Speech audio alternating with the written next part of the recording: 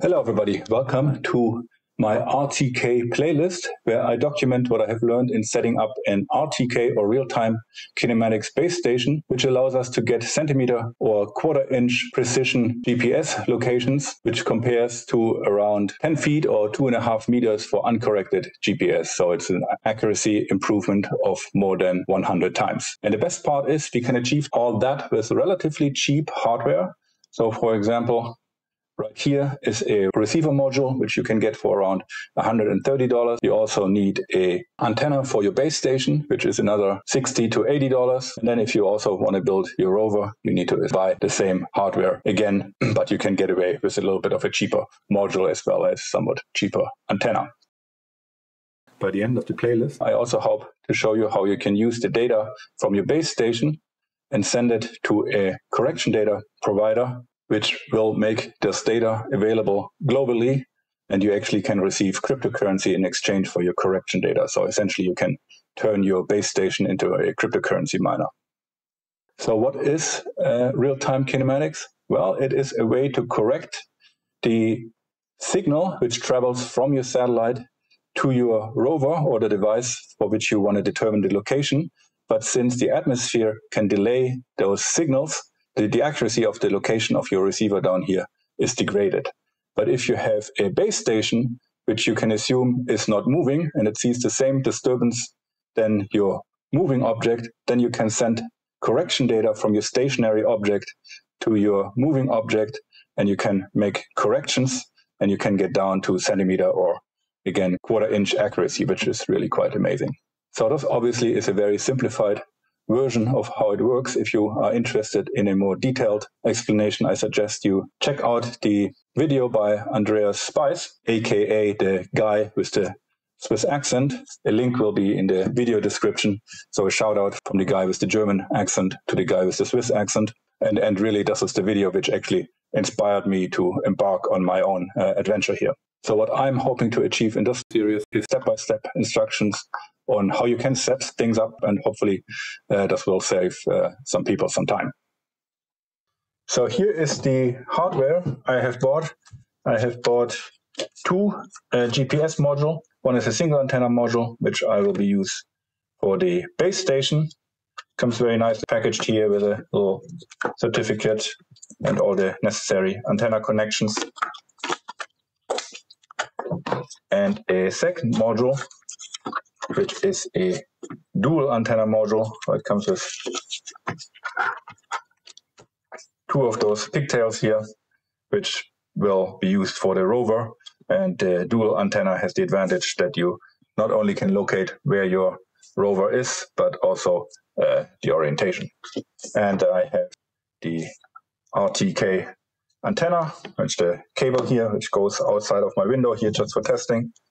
And then um, later on, we will use an ESP32 to connect the uh, GPS hardware to the internet using the uh, Wi-Fi capability of the ESP, and I also have some uh, small Wi-Fi antennas here.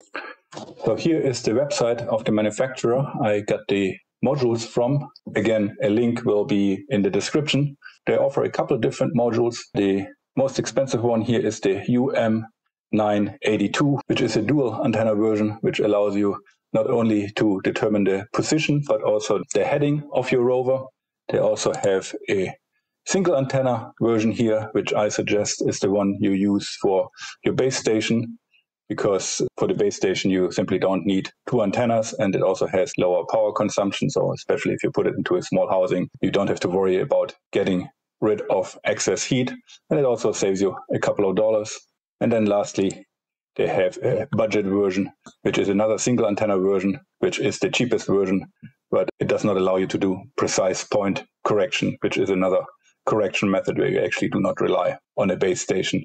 And it does not allow you to calculate new positions as fast as the other two models. So depending on what you need, this version here is typically available for around $80, while the other versions are on the order of $120 or so. So depending on what your needs are, you can choose the right version here. So all three those modules can be bought on nice development boards on AliExpress. So for example, here is a nice one, which is the dual antenna version. Actually, they just reduced the price. I think I paid around 130. It's now $105. They have the uh, single antenna version and here the more budget friendly version. And they also have a couple of options of antennas. Actually, came as a surprise to me when I bought this antenna. I didn't really expect it to come with the base, but it came with the mounting base as well, which was a nice surprise. So what I'm hoping to show in this playlist is first how you can set up your base station using software which is actually provided by the manufacturer of the module, where you can see your satellite constellation and also actually stream the correction data to an Ntrip server, for example, RTK2Go, which allows you to stream your data and then anybody in the world has access to this data and can use it to do corrections. So for example, here is uh, my base station, which is online right now. I can click here on Google Map and you can see uh, here my base station on the top of my garage. And then everybody within a radius of around 20 kilometers or so uh, can use this data to get those centimeter precision GPS locations. Uh, I also will show how you can use an ESP32 microcontroller to actually make the system independent of your PC. So it can really run on a very minimal power budget for extended periods of time. and doesn't use your computer. And then I will show how you can set up an account with Onocoy, which is a decentralized physical infrastructure project to set up those base stations in exchange for cryptocurrency. And ultimately, of course, I will also demonstrate how you then can access those correction data and again use one of the uPrecise hardware modules and their software to build a rover which you then can locate within fractions of an inch provided that you have the correction data from your base station. All right, so if that sounds interesting to you, then I suggest you give it a like and also subscribe and stay tuned for more videos. Goodbye.